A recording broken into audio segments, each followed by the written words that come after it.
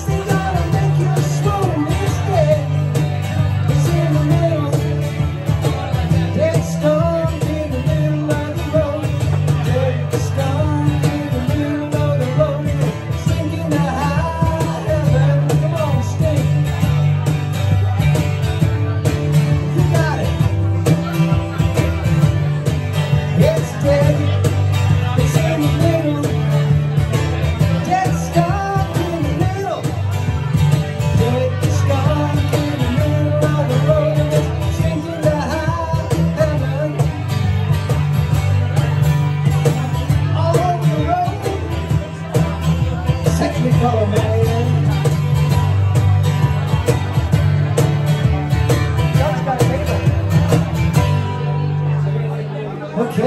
how many of you have experienced the dead stone in the middle of the road?